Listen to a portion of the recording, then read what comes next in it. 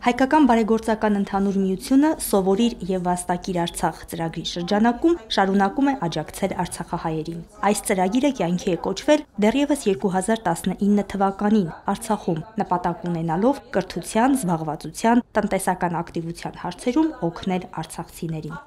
Այժմ ծրագիրը վերափոխվել է եւ տարբեր բնակավարներում աջակցություն է ցուցաբերում բռնի տեղահանումից հետո Հայաստանում հաստատված արցախահայերին։ Ծրագիրը ունի հիմնական 3 ուղղություն՝ օգնել արցախցիներին իրենց մասնագիտության ընտրության հարցում, խորհրդատվություն ուղղորդում տրամադրել, որից հետո օգնել իրենց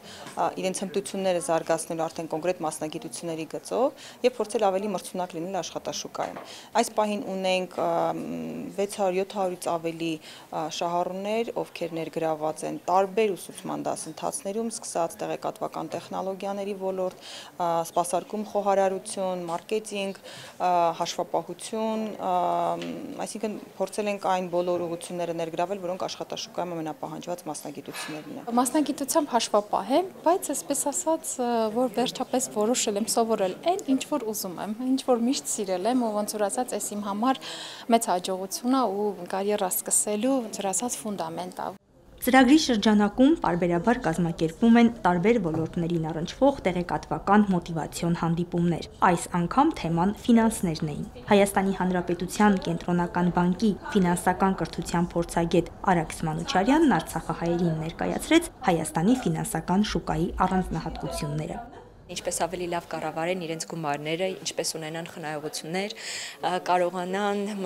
ապագայի համար ավելի լավ հիմքեր ստեղծել, ինչպես ինտեգրվել հայկական ֆինանսական համակարգում, տեղյակ լինել հայկական ավանդներից, վարկերից, ներդրումային հնարավորություններից, որը նրանց հնարավորություն կտա գնալ դեպի ֆինանսական բարեկեցություն։ Հայկական բարեգործական ընդհանուր միության հետ նպատակն էր